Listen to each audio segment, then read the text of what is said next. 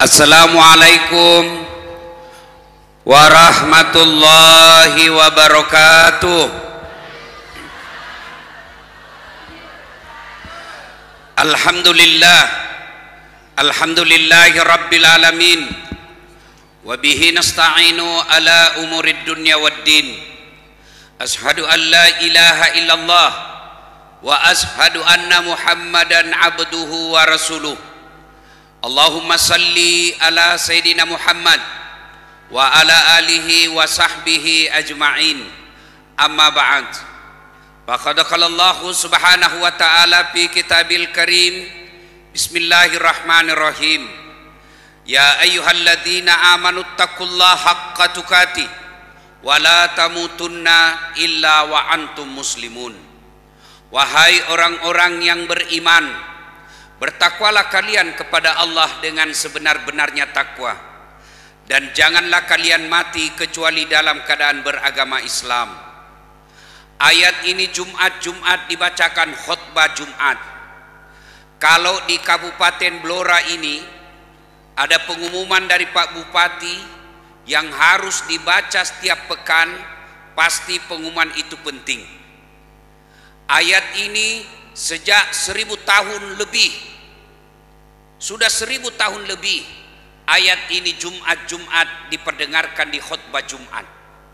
Berarti ayat ini sangat penting dan rasa-rasanya susah diterima akal.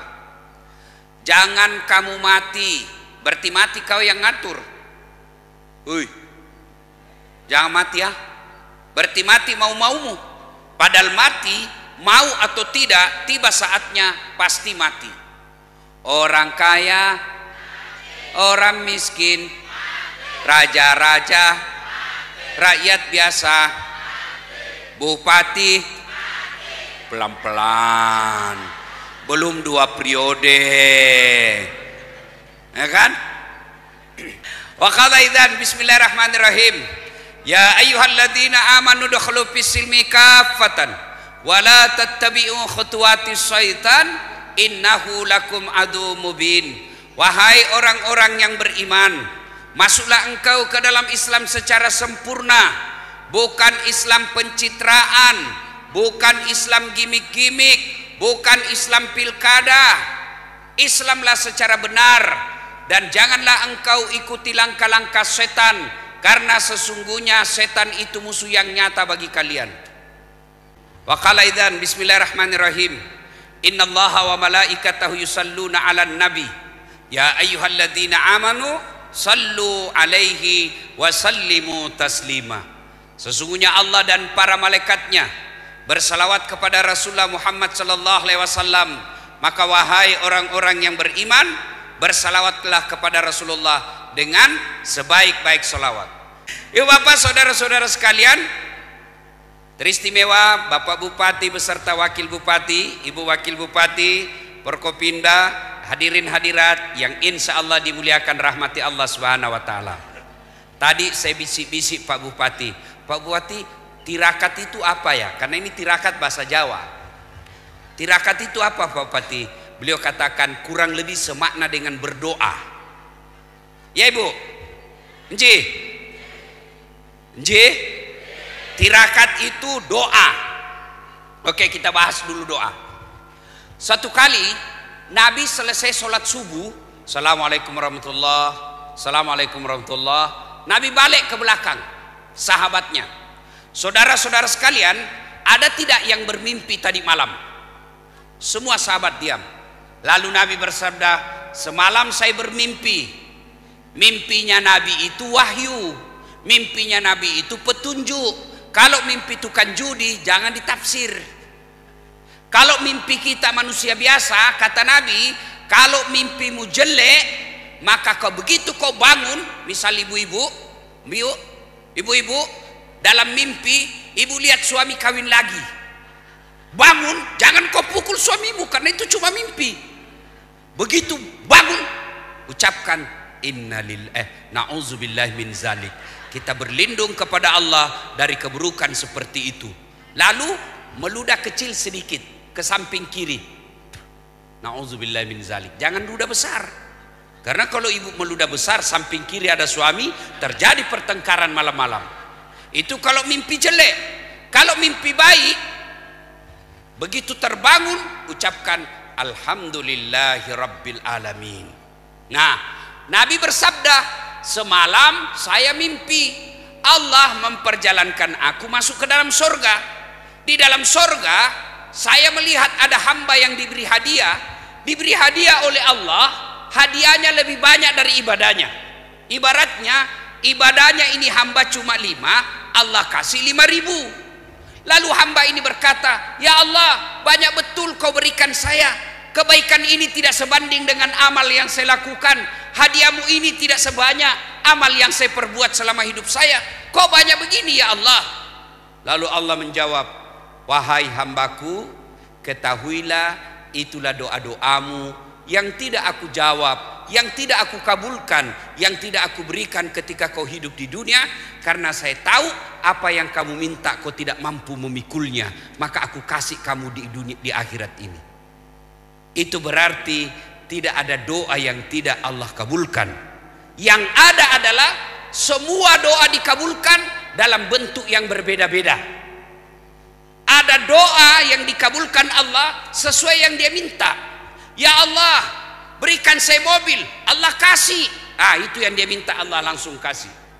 Ya Allah mudah-mudahan saya terpilih jadi ASN Allah kabulkan sesuai permintaannya. Ada juga doa yang dikabulkan tapi dalam bentuk ditunda. Pak Prabowo Ya Allah jadikan saya Presiden Republik Indonesia. 2019 Allah tidak kasih. 2024 baru Allah kasih. Nabi Sakaria berdoa Ya Allah berikan saya keturunan. Ya Allah berikan saya anak sejak usianya 21 tahun. Kapan Allah kabulkan? Usianya 90 tahun baru Allah kasih. Nabi manusia mulia usia 21 tahun sudah minta berikan saya anak kapan Allah kabulkan usianya 90 tahun. Itu Nabi. Bapak doa pagi mau dikasih malam. Padahal itu kan tipu. Doa Allah kabulkan tapi Allah tunda. Yang ketiga, ada doa Allah kabulkan dalam bentuk yang lain. Ya Allah, berikan saya kendaraan. Allah tidak kasih kendaraan. Allah tahu kalau ada mobilnya suamimu dia pakai selingkuh. Tapi Allah kabulkan dalam bentuk apa? Allah kabulkan dalam bentuk kesehatan. Ya Allah mudah-mudahan saya, saya terpilih anggota DPR tidak terpilih. Allah tahu bukan di situ yang baik. Nanti kau ditangkap KPK Allah kabulkan apa? Anaknya lulus jadi tentara saya tamat SMA daftar tentara, akabri namanya dulu. Mau jadi penerbang. Tes fisik tidak lulus. Kenapa? Ceper. Dan cukup tinggiku. Saya protes kepada Allah. Ya Allah, kenapa kau lahirkan saya dalam keadaan pendek? Kau tidak rugi jadi Tuhan kalau saya tinggi satu meter satu senti lagi. Teman saya lulus ibu. Sekarang dia reserse pakai baret merah kompol satu bunga di Sulawesi Barat Polda. Saya tidak lulus saya lulus jadi ustad pakai baret putih. Alhamdulillah dengan baret putih yang saya pakai mulai baret merah sampai baret hitam ku caramai kau semua. Hmm. Allah kasih yang terbaik. Gagal saya akabri daftar fakultas kedokteran mau jadi dokter. Saya sholat tahajud 40 malam berturut-turut. Saya nasar puasa tujuh hari kalau lulus. Saya ikut bimbingan tes khusus. Saya juara dalam kelas saya fisika satu. Tes? Eh tidak ada namaku. Kenapa saya tidak lulus ya Allah? Kau tidak rugi jadi dokter.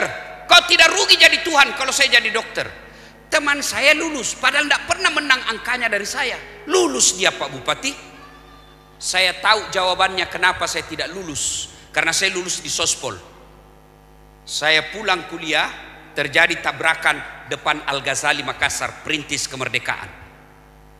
Saya turun tolong dia, berceceran darah di aspal, dia yang tabrakan, saya yang pingsan. Kenapa? Saya tidak bisa lihat darah. Sampai sekarang, kalau saya lihat di WhatsApp ada orang baku tikam, tabrakan, langsung pening saya. Seolah-olah Allah ingin berkata, Dasat, tidak usah kau jadi dokter, kau tidak bisa lihat darah. Lebih kau jadi dokter ustad. Kalau dokter periksa tik tik tik tik tik tik, kalau saya periksa imannya.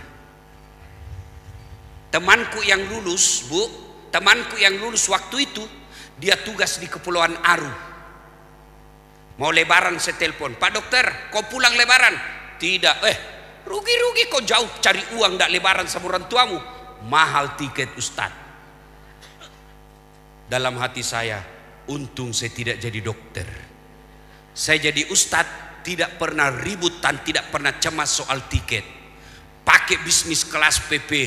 Siapa yang belikan tiket saya hari ini? Pak Jenderal Sahar. Hebatnya lagi, pergi tidak bawa uang, pulang bawa uang. Allah kasih yang terbaik. Sedulur-sedulur, kalau ada yang daftar PNS tidak diterima, jangan sangka buruk kepada Allah. Berarti Allah tidak senang kau jadi PNS. Apa hebatnya itu PNS? Kau mau sogok-sogok ratusan juta untuk PNS. Apa hebatnya PNS? Tanya Pak Bupati. ASN. Mana ada ASN tidak ada utangnya di koperasi. Kau lihat semua itu ASN, ada semua itu apa itu SK-nya di dalam bank. Kata kawan saya itu ASN Ustadz PNS tanggal 1 sampai tanggal 10 makannya apa? Sari laut. Turun sedikit tanggal 11 sampai tanggal 20 turun pula makannya. Apa? Sari mie. tanggal 21 sampai tanggal 30 Saridon. Oh wasaki kepala. Gaji habis cicilan belum lunas. Apa hebatnya? Hah? nyogok mau jadi pegawai. Ada lagi itu namanya pegawai honor. PTT pegawai tidak tetap pegawai honor. PTT pegawai tidak tetap. Lima tahun kemudian TTP tetap tidak pegawai. Udah kalau Allah kasih itu yang terbaik. Ibu-ibu minta anak, ya Allah, saya sudah tujuh tahun menikah tidak punya anak. Allah tahu kalau ada anakmu kamu kena kanker rahim. Jangan sangka buruk. Adik-adik sekalian para tentara, polisi sudah selayaknya sekolah, sudah daftar tidak lulus, berarti Allah tahu bukan di situ tempatmu yang terbaik. Sangka baik.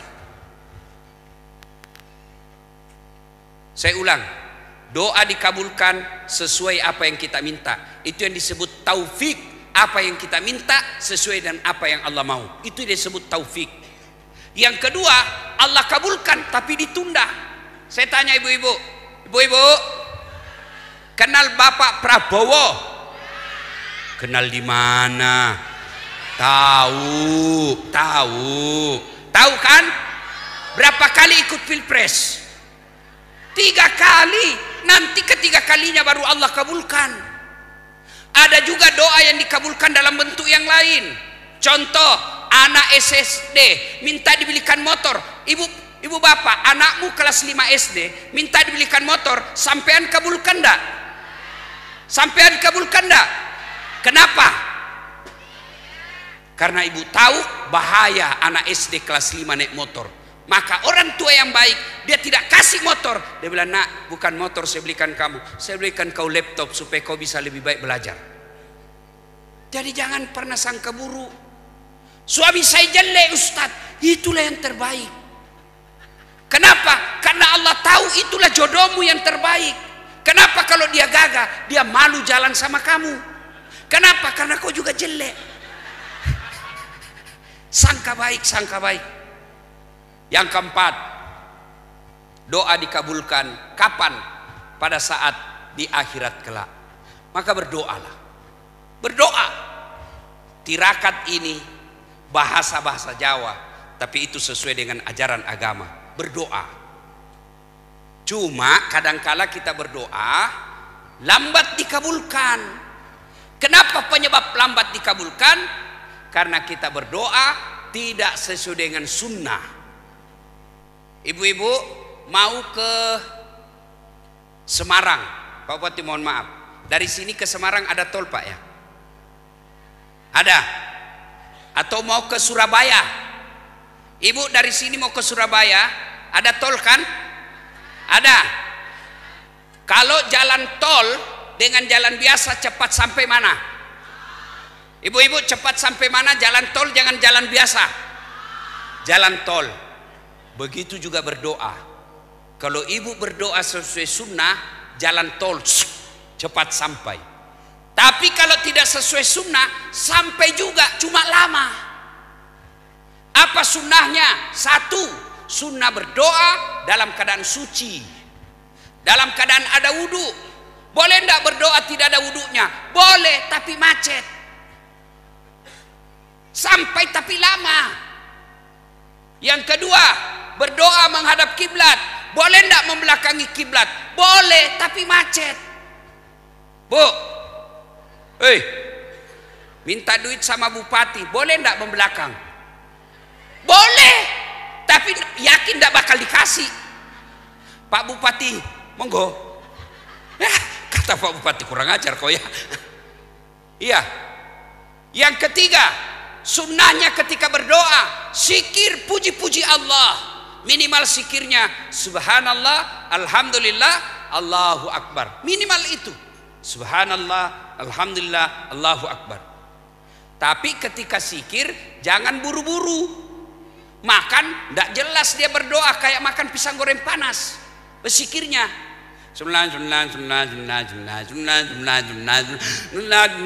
apa artinya itu? Coba lihat di masjid. Biasa sama-sama mulai. Sama-sama 33. Sama-sama subhanallah. Saya baru 11 dia sudah sampai. Dia bilang saya jumlah jumlah jumlah jumlah jumlah. Apa artinya itu jumlah? Dia ketawa, saya serius ini. Maka ucapkan secara sempurna Subhanallah, Subhanallah, Subhanallah 33 Minimal itu Alhamdulillah, Alhamdulillah 33 Allahu Akbar, Allahu Akbar 33 Kenapa 33 Ustaz? Kali 3 99 Kenapa 99? Asma'ul Husna Nama-nama Allah Itu pendapat ulama Jangan juga terlalu banyak mau di pertanyaan biar tidak penting ditanya juga. Ustadz kenapa 33? Bapak juga kalau dokter kan Bapak tidak tanya. Kenapa dok kasih obat ini enggak? Ini Pak Haji makan ya tiga kali satu. Bapak kan tidak tanya kenapa tidak tiga kali tiga supaya cepat habis. Nah sudah berzikir apalagi kalau bertirakat sunnah mengangkat kedua belah tangan. Hmm, seperti ini. Nah, Kanan kiri merapat pas depan wajah. Makin besar hajat, makin tinggi. Ustadz, boleh tidak berdoa begini? Boleh. Tapi macet. Boleh tidak berdoa begini? Amin ya Allah. Bo boleh tapi macet. Ustadz, kenapa orang berdoa? Amin. Ah itu banyak sekali dia minta itu. Ya, ngangkat kedua belah tangan. Apalagi sunnahnya duduk di antara dua sujud. Duduk di antara dua sujud. Boleh tidak berdiri? Boleh. Boleh standar samping. Amin. Boleh tapi macet. Yang berikutnya apalagi sunnahnya? Bersalawat kepada Nabi Allahumma salli ala Sayyidina Muhammad wa ala Sayyidina Muhammad. Minimal itu. Kalau hajat kita besar perbanyak bersalawat. Karena Nabi katakan siapa yang berdoa tidak diawali dan akhiri dengan salawat maka doanya tergantung antara langit dan bumi. Maka ibu kalau mau berdoa bayangkan ada nabi di depan ibu lalu sebut-sebut nabi seolah-olah jabat tangannya nabi kita curhat.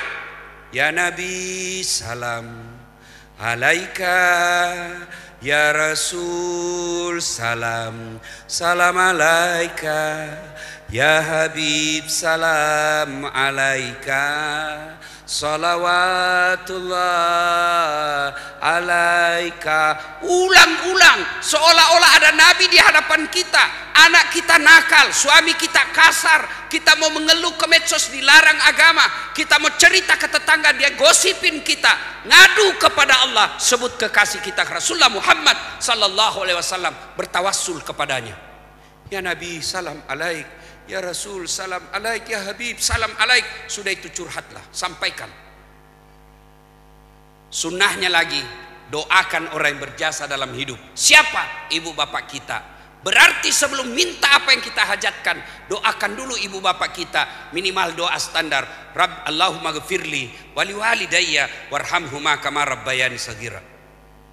Lalu ingat, doa tidak harus bahasa Arab. Ibu-ibu, sebelah kiri saya ibu. Halo ibu.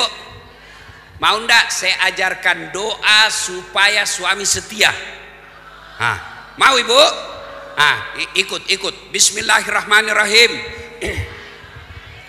Allahumma barik lana bima rasaktana. Ah, doa makan itu ibu. Kenapa ibu ikut? Karena ibu tidak tahu artinya. Jadi doa tidak harus pakai bahasa Arab, bahasa Jawa, monggo. Bahasa Sunda, mangga. Bahasa Inggris kalau kau tahu. Bahkan boleh pakai bahasa isyarat tanpa bahasa. Amin ya Allah. Malaikat katakan, oh kawin lagi suaminya ini. Allah tahu, tanpa ibu tak bahasakan Allah tahu. Sudah itu, ya Allah, terimalah doa hamba ya Allah. Subhana rabbika rabbil izzati amma yasifun. Wassalamun alal musalli walhamdulillahi rabbil alamin.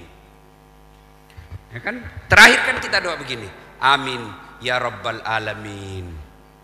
Ustadz, kenapa begini usap wajah? Itu variasi. Tambahan saja itu. Boleh tidak ada. Kenapa ke wajah Ustadz? Lebih nyambung dan lebih nyaman. Masa ibu selesai berdoa?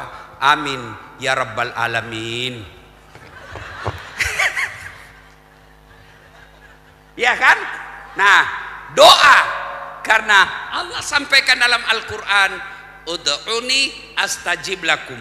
Berdoa kau kepadaku, pasti saya kabulkan. Maka balik ini banyak-banyak berdoa. Adik-adikku yang mau jadi pegawai jangan nyogok. Kau sogok jadi pegawai selama kau makan uang itu, selama itu kau makan uang sogok uang haram. Adik-adikku sekalian mau jadi tentara polisi, jangan sogok. Kau bangun sholat tahajud 40 malam berturut-turut. Mana bisa jadi pegawai Ustaz tidak nyogok. Saya bersaudara beberapa jadi pegawai tidak ada satupun yang nyogok. Bagaimana caranya? Kalau ibu-ibu mau anakmu lulus tentara, mau lulus polisi, yuk bangunlah sholat tahajud malam-malam, minta kepada Allah. Pagi lagi kau, kau sholat duha, minta kepada Allah. Kau yakin kalau Allah tidak luluskan anakmu, bukan di situ yang terbaik. Doa, doa, senjata bagi orang Islam adalah doa. Kedua, tema ceramah kita. Kita berada di Masjid Mutiah. Bu Ibu, pernah lihat orang meninggal? Pernah lihat antar jenazah? Pernah? Sering. Itu kata Nabi, kalau orang meninggal, tiga yang mengantar. Berapa Ibu? Berapa yang ngantar? Tiga. Dua yang kembali, satu yang tinggal menemanimu. Apa gerangan ketiga itu? Satu, anak, istri, sandai tolan, karib, kerabat, anak buah, teman datang ngantar semua ke kuburan. Ada yang masuk ke kubur? Ada? Jangankan masuk kubur, duduk saja di atas batu nisanmu, dekat batu nisan sampai malam tidak ada yang mau. Meskipun ibu meninggal besok-besok, jangan harap suamimu mau tirmani kau di situ. Meskipun dia gombal, gunungkan kudaki, lautan ku seberangi, ke mana pun kau pergi aku akan mengikutimu. Kita hidup sama hidup semati. Bohong. Anak, jangankan anak, tak akal ada yang temani kamu. Yang kedua, yang mengantar kita harta, keluar mobil, keluar sepeda motor, keluar harta-harta kita. Ada yang masuk temani ke kubur? Ada yang temani masuk kubur? Ada ibu, apa? Kain kafan. Kain paling murah, bukan sutra, kain paling murah, itu yang temanimu. Ini pipimu yang kau kasih apa skincare, kasih putih muka, mukanya putih, lehernya hitam. Ah, ibu meninggal, cacing punya urusan. Yang ketiga, yang menemani, ngantar, satu keluarga, dua harta, tiga amal kebaikan. Masuk di kubur, amal itu yang temani kita. Begitu masuk kubur, seperti almarhumah Ibu Mutia, sudah masuk kubur. Tidak ada lagi bisa dilakukan. Ibu-ibu, ada pegawai, ada pegawai kalau Pak Bupati tidak senang kamu, ada pilihan tidak? Di kantor Bupati, Pak Bupati tidak senang kita, ada pilihan tidak? Ada, apa pilihan? Pensiun dini. Tidak ada urusan dengan Bupati. Masih ada pilihan. Sedulur-sedulur pergi merantau ke Kalimantan, tidak enak di Kalimantan, ada pilihan tidak? Ada pilihan ada, balik lagi ke Jawa. Mangan orang mangan, yang penting ngumpul. Iya toh? Nah, jadi tentara, polisi, tugas ke daerah yang tidak senang. Ada pilihan? Ada. Pensiun dini, selesai. Bu-ibu, ada suami kasar, tidak tanggung jawab. Ada pilihan? Pulangkan saja aku pada ibuku atau Coba ibu kalau hafal ini lagu ikut ibu ya. Tak sengaja lewat ku melihat dihiasi hati bertanya Oh berarti ibu memang sudah tua semua karena ini lagu-lagu zaman dulu ini. Ayo, ada pilihan kalau suami jelek, ada, minta diceraikan secara baik-baik. Bapak-bapak, suamimu malah istrimu malas masak, kasar ngomong, tidak menghargai mertua, saudara kita dia hina. Ada pilihan? Ada dua malah pilihanmu. Satu, bawa pulang cekan. Dua, ganti. Tapi kalau sedulur-sedulur di dunia menderita masih ada pilihan. Di dunia susah masih ada pilihan. Tapi kalau masuk kubur ada pilihan? Ada pilihan, Bu. Masuk kubur ndak enak. Eh balik lagi deh. Begitu kau balik spiral kau satu dunia. Kata Nabi kalau kau sudah masuk kubur, tidak ada pilihanmu. Tidak bisa lagi kau sholat, tidak bisa lagi kau puasa, tidak bisa lagi kau tobat, tidak bisa lagi kau ibadah. Tapi kata Nabi, ada tiga yang bisa terus mengalir deras meskipun kau sudah jadi jenazah di kuburmu. Itulah amal jariah. Apa amal jariah itu? Satu, kata Nabi, anak yang soleh dan soleha.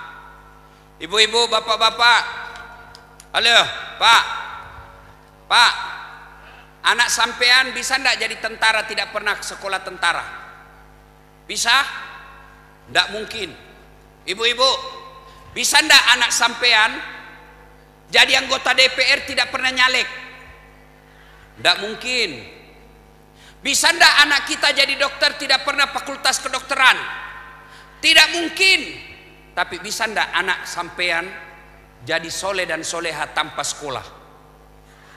Bisa. Bisa ndak anak sampean jadi soleh dan soleha meskipun tidak dokter? Bisa. Itu artinya Allah lebih mudahkan anakmu jadi bermanfaat soleh dan soleha daripada jadi pejabat. Sayang seribu sayang, kita lebih bangga anak kita pintar bahasa Inggris tapi tidak malu tidak tahu ngaji.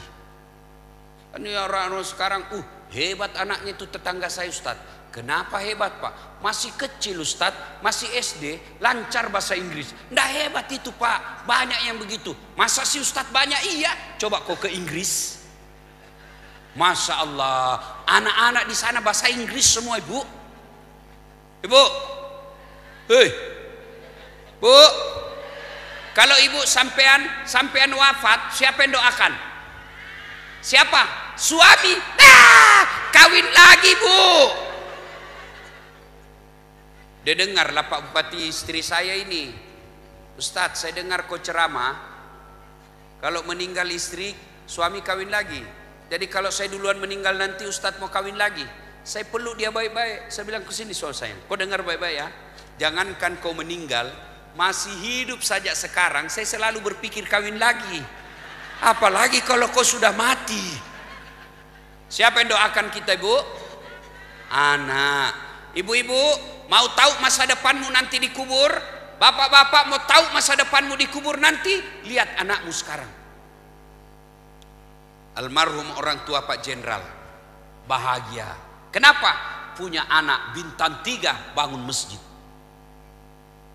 Banyak orang anaknya pejabat. Tinggi sekolahnya. Tapi siapa yang ngurus orang tuanya? Anak orang tuanya mau pergi jalan-jalan, sopir yang temani. Orang tuanya mau pergi jalan-jalan, pembantu yang dampingi. Orang tuanya mau pergi berobat, sopir yang temani. Nggak ada gunanya anakmu tinggi sekolah, tinggi jabatan kalau dia tidak tahu ngurus kamu. Ini gunanya anak-anak kita dididik. Percaya ibu, ibu pasti mati. Siapa yang doakan? Anak. Temanmu, coba lihat aja itu teman. Ibu bapak kan semua punya grup WhatsApp. Coba kalau kita meninggal, ada teman kita meninggal di grup WhatsApp. Jangankan baca Al-Fatihah, ketik doa saja dia tidak mau. Ada yang meninggal, ada yang baca Al-Fatihah, tidak, stiker dia kirim. Al-Fatihah. Dia tidak baca itu Al-Fatihah, stiker. Begitulah masa depan kita kalau tidak punya anak yang soleh dan soleh. Maka masjid ini hadir supaya anak-anak kita di sekitar masjid ini kirim ke masjid, ajarkan TKTPA. Apa ibu tidak bah menunggu masa depan? Begitu ibu sudah arwah, begitu bapak sudah ajal menjemput, anak-anak ibu bapak yang doakan bahkan bangunkan masjid, dikasih nama orang tuanya nama masjid. Itu yang anak yang soleh dan soleha. Luar biasa Pak Jenderal ini. Sudah Jenderal bintang tiga, soleh lagi. Alhamdulillah. Yang kedua, yang bisa mengalir terus-terus meskipun kita sudah dikubur. Apa itu? sedekah. Sedekah. Ibu-ibu, ini yang di depan saya. Kalau ibu meninggal ini yang banyak emasnya, siapa yang pakai emasnya ibu? Nah, istri kedua, kawin lagi suamimu, dia tarik itu cincin. Ini saya waktu kita menikah itu dia tarik. Eh, dia tarik lagi kau punya gelang ini waktu kita umroh sayang emas Dubai dia tarik lagi kau punya kalung, bahkan gigi palsumu pun dia cabut. Tiga bulan kemudian kenal sama janda. Itu emas-emasmu, dia kasih itu janda. Dek, ini emas istri saya sudah mati. Kau pakailah. Daripada ibu emasnya dipakai istri kedua, mending sedekah. Ada ndak orang bangkrut gara-gara sedekah? Dan itu orang pelit bu, tidak ada yang senang. Saya mau tanya, ibu-ibu, senang bupati yang pelit atau dermawan? Keras, senang bupati yang pelit atau dermawan? Oh, dermawan. Ibu-ibu, senang tetangga yang pelit atau dermawan? Senang sahabat yang pelit atau dermawan? Cu, semua senang dermawan. Tidak ada yang suka orang pelit. Bahkan orang pelit sekalipun tidak suka sama orang pelit. Tidak usah kau ke rumahnya pelit. Padahal dia juga pelit.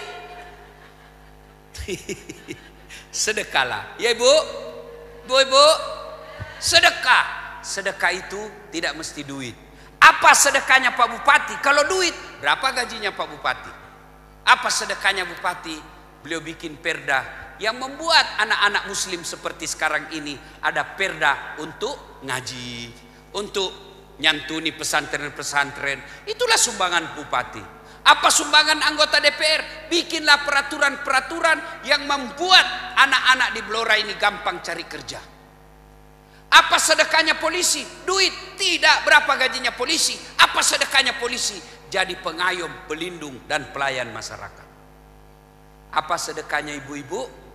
Jadilah istri yang baik kepada suami. Itu sedekah. Kalau ada rezeki, bawa nasi bungkus tiap Jumat ke masjid. Doa, ya Allah Jumat ini lima bungkus, Jumat depan sepuluh bungkus ya Allah. Tidak ada orang bangkrut gara-gara sedekah. Bahkan ibu-ibu, kalau mau suamimu setia, kamu terhindar suamimu dari perempuan jahat, sedekah dengan tolak balas sedekah. Bangun sholat hajat tengah malam, selesai sholat hajat berdoa, ya Allah ini ada duit saya seratus ribu, saya sedekah ke anak yatim, tolak bala. Mudah-mudahan suamiku terhindar dari wanita jahat. Bismillah, bawa itu seratus ribu, tolak bala. Yang jadi masalah kalau suamimu juga bangun sholat tengah malam. Ya Allah capek sudah saya lihat suami istri saya.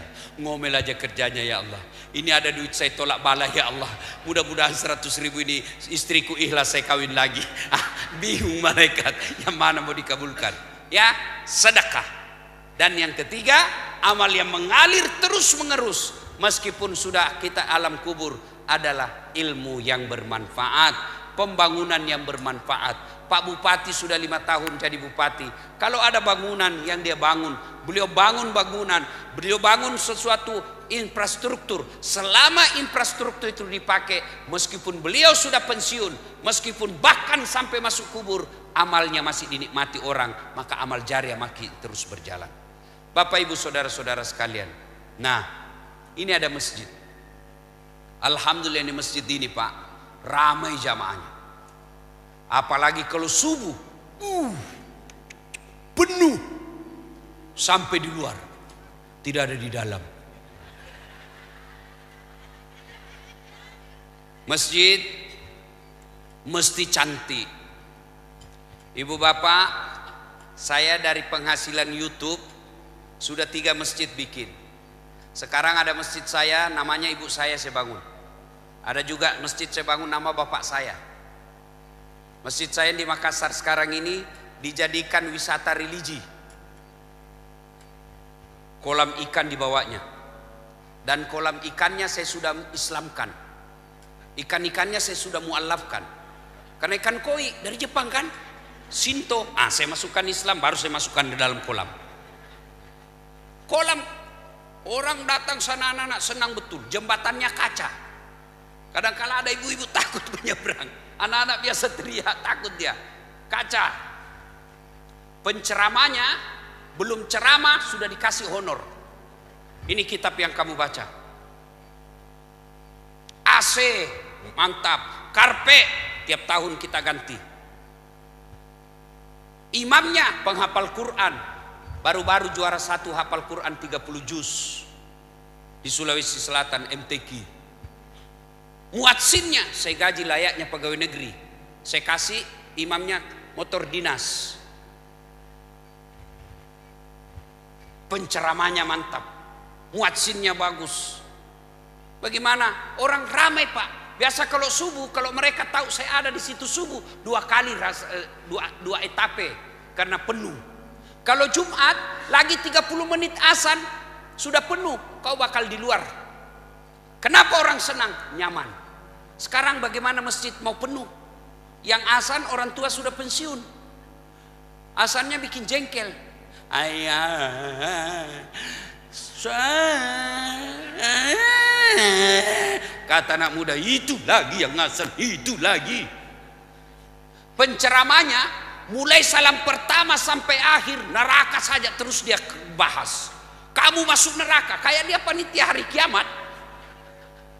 Kau dibakar, dibanting, dilipat, ditusuk pantatmu, keluar. Dia bilang anak muda tidak usah ke masjid bikin takut-takut. Karpenya sudah tujuh kali Muharram tidak pernah ganti. Begitu kita sujud, tai cicak didapat. Air macet-macet, toiletnya tidak ada airnya. Diumumkan saldo kas 70 juta. Air keran rusak. Dengar ini takmir masjid. Jangan simpan uangnya orang jadi saldo.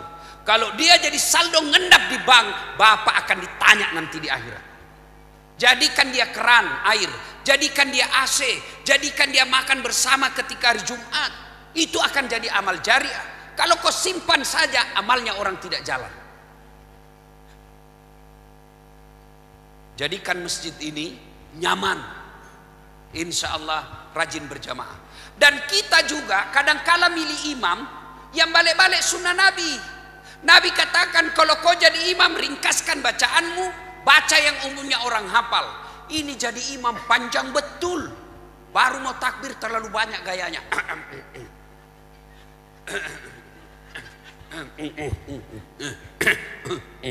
Apa itu nak kau tinggal angkat selesai? Kata Nabi, ringkaskan bacaanmu. Kenapa? Kita di belakang kan banyak. Ada rematik disiksa sama Pak Imam. Allah. Belum selesai Pak Imam jatuh kepalanya. Naik lagi ke sen kembali. Belum selesai Pak Imam. Nah jatuh lagi kembali kembali. Kata Nabi, ringkaskan bacaannya. Yang kedua kata Nabi, kalau kau jadi imam, baca yang umumnya orang hafal. Tujuannya apa? Satu, supaya orang husu bisa ikut. Coba kalau imam baca Al-Fatihah, kita ikut. Kenapa? Karena kita hafal. Coba kalau imam baca Wadduha, kita ikut. Kenapa? Kita hafal.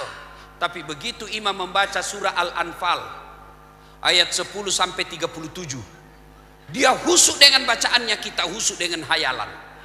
Kita mau ikut tidak hafal, mau ruku imam belum selesai, terpaksa kita baca semua di dinding.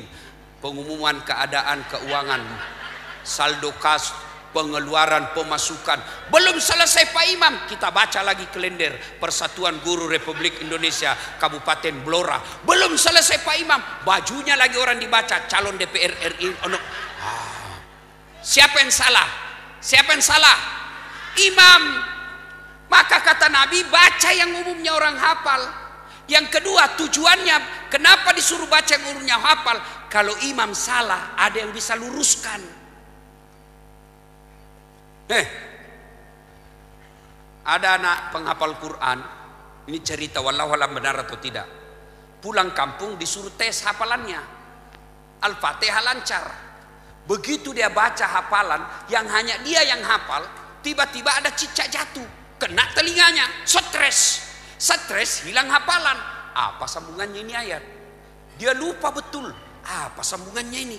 Hening suasana dalam masjid. Tiba-tiba imam bilang, tolong bantu di belakang. Dia bilang di belakang, saya juga tidak tahu. Tiba-tiba ada anak muda berteriak, ya sudah kalau begitu Allahu Akbar. Siapa salah? Siapa salah? Imam. Ada lagi kejadian ini. Ini ini saya waktu kecil di kampung. Imam sujud lama sekali, tidak seperti biasanya. Penasaran, kok lama betul? Belum naik-naik, kok lama betul? Ada kawan saya diangkat kepalanya. Kaget semua, wih hilang imam. Ternyata imam keluar dari pintu samping. Kacau sholat. Selesai sholat ditanya, Pak Imam, kenapa kau tinggalkan sab? Saya kentut nak. Pak Imam, lain kali kalau kau kentut, angkat dulu kepalanya, baru kita lihat. Saya sengaja nak, malu saya kau lihat. Siapa salah? Siapa salah? Imam. Ingat, dalam fikih sholat berjamaah, siapa pun boleh jadi makmum. Tapi tidak boleh sembarang jadi imam. Kenapa? Salah sab, salah imam, kacau jamaah. Kalau makmum, orang gila boleh jadi makmum. Orang awam boleh jadi makmum. Belum balik boleh jadi makmum. Imam tidak boleh. Bulan 11 Blora akan pilih imam. Salah kamu memilih imam, kacau kamu punya kabupaten. Pak Bupati kita alumni pondok. Insya Allah pandai menjadi imam. Bu, dan juga kalau jadi makmum harus jangan kau ganggu jamaah yang lain. Ada tata caranya kalau kita jadi makmum. Satu, kalau kau jadi makmum jangan ganggu orang di sampingmu. Ada orang ganggu? Ada. Yang mana itu? Yang selalu kasih pindah-pindah kaki.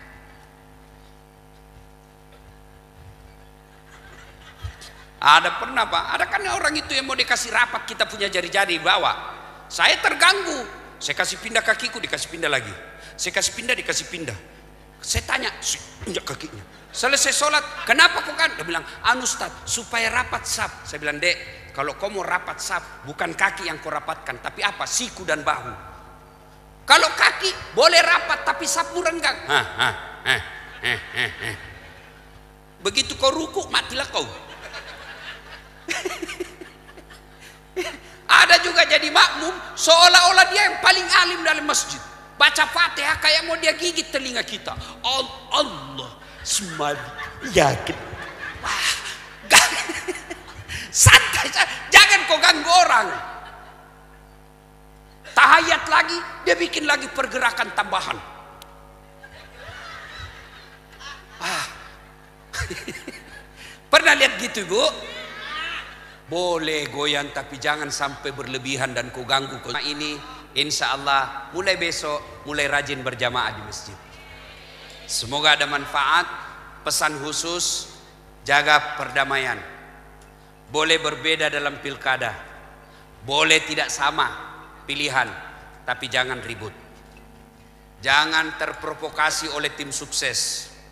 Lihat 2019 siapa yang berhadapan dalam pemilu Bapak Prabowo dengan Jokowi. Siapa yang menang? Bapak Joko Widodo. Siapa menterinya? Prabowo. Waktu kampanye tak saling nyerang. Selesai menang satu paket. Kalian bertengkar, bertetangga, berpuluh-puluh tahun bertetangga. Gara-gara beda pilihan, kalian bermusuhan, apa yang kalian mau dapat? Kalian juga tim sukses, jangan menghasut. Jangan nyebarkan berita fitnah. Kalau kau tidak senang orang, tidak usah pilih tanpa kau jelek-jelekkan. Silahkan pilih jagoanmu, jangan kau hina lawanmu karena kau bisa menang karena ada lawan yang kau tanding. Ibu-ibu jangan peras calon. Jangan menjadi pemeras dalam pilkada. Bapak-bapak calon jangan juga ajari masyarakat kita untuk disogok. Mari hadapi pesta demokrasi ini, jaga ketertiban, jaga keamanan, sama-sama kita jaga Kabupaten Blora, kabupaten ini tempat kita hidup dan cari nafkah, maka tanggung jawab kedamaiannya bukan pada polisi saja, tapi pada kita semua. Karena kalau Blora aman, kita enak pun mencari nafkah dan beribadah. Mudah-mudahan ada manfaat. Lebih dan kurangnya mohon dimaafkan. Sebelum saya akhiri, saya ingin memberikan hadiah kepada Pak Bupati. Saya berikan beliau ada hadiah dari Sulawesi Selatan. Mudah-mudahan Pak Bupati berkenan. Nih. Ini ada saya mau beri hadiah Pak. Silakan Bapak. Sarung gajah duduk. ya, kenapa disebut gajah duduk Ustadz? Karena sejak ada ini sarung gajahnya saya lihat gambarnya duduk terus, tidak pernah berdiri. Andai saja sekali-kali dia berdiri maka disebut gajah duduk berdiri. Nah, ini Pak, Ibu, kenapa saya kasih sarung? Ini ada filosofinya. Sarung ini ketika kita belum kenal sarung, celana dan rok, sarung inilah menutup aurat. Artinya aurat itu rasa malu. Saya berharap Pak Bupati menutup rasa malunya masyarakat Blora. Malu dari kemiskinan, malu dari kebodohan, dan malu dari keluar cari kerja. Yang kedua, sarung ini sedulur-sedulur kalau dingin pakai sarung diapain? Jadi selimut kan? Kedinginan. Pakai ini sarung. Maknanya kalau ada masyarakat Blora yang kedinginan karena kemiskinan, Pak Bupati hadir di situ untuk memberikan selimut kenyamanan. Mudah-mudahan sarung ini simbol Pak Bupati menjadi pejabat yang rahmatan lil alamin. Rahmat bagi seluruh alam. Bukan saja kepada saudara kita kaum muslim, kepada saudara kita pun non muslim. Kita doakan Pak Bupati menjadi teladan dan menjadi rahmat bagi semuanya. Terima kasih. Pak Bupati izin. Ya.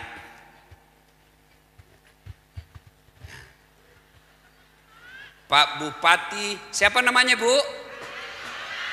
Siapa namanya? Masya Allah, memang populer Pak Bupati kita ini. Ya, foto dulu. Oke, terima kasih Pak Bupati.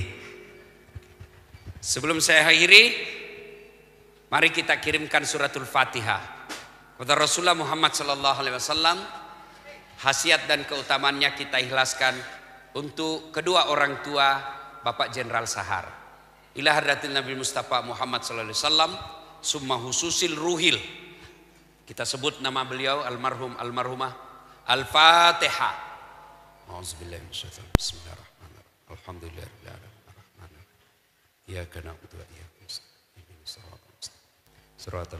Wa Amin. Terima kasih, lebih dan kurangnya mohon dimaafkan. Usikum wa nafsi bitaqwallah, pastabikul khairat. Assalamualaikum warahmatullahi wabarakatuh. Mohon izin Bapak Ustadz untuk ngambil satu kupon umroh. Satu kupon umrohnya.